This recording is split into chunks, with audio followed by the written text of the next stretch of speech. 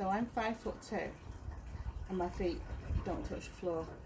Consequently, I can't actually rock without a lot of effort.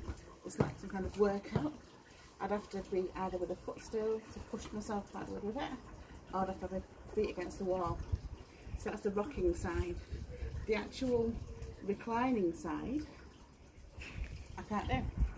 It won't recline whilst I'm on it, unless I can actually push myself against something. So I'm here in front of a pile of bricks, oops, which is like a basically, I might as well be sitting in front, in front of a wall.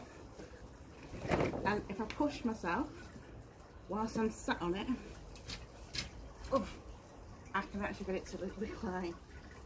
Oh, and now I can rock a bit, which is a bit freaky.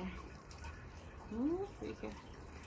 But I suppose if you want to rock, at least you could do it that way. But the reclining is the problem. So my only way to recline is, without having bricks to push against, is good for sitting up because it does kind of put itself back together, is to recline it in the first place, put the lock on by pushing this all the way to the top,